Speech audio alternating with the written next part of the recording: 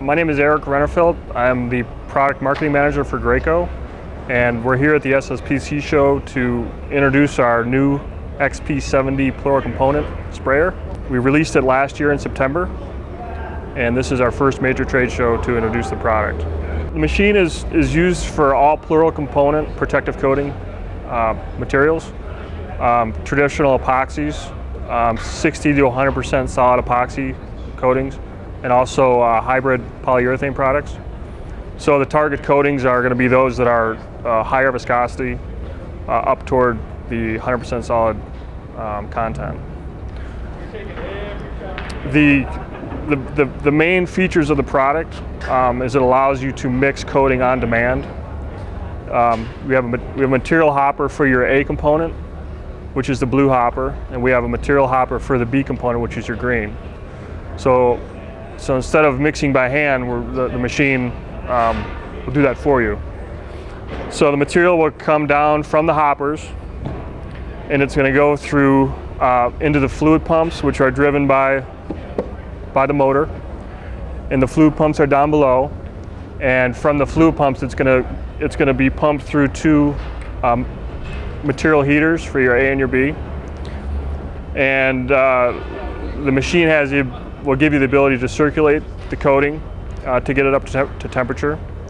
This handle here is what controls your circulation. So when you're down, you're going to circulate and heat the product until you get up to, to your spray temperature. And when you're up to your spray temperature, you're going to put this handle up into spray mode. Once this is up, your two materials are going to run through the machine out through into a mix manifold into a static mixer and out your hose to your spray gun. This machine will mix your coating on demand. So while you're spraying, you're mixing. And when you're done spraying, you detrigger the gun, relieve your pressure, and you have a solvent pump which is plumbed into the manifold to flush your mixed material out. So one of the big benefits of the machine is it, is it allows you to not waste as much coating um, instead of cleaning out your whole pot, you can just flush what you've mixed in the hose. We have um, the Graco Xtreme lowers underneath, which is which are common to the industry. Uh, they're the same style of lowers that are used on our standard single component airless sprayers. So the maintenance is going to be user friendly. They're going to be easy to take apart and they're going to be easy to clean. It's a mechanically driven pump.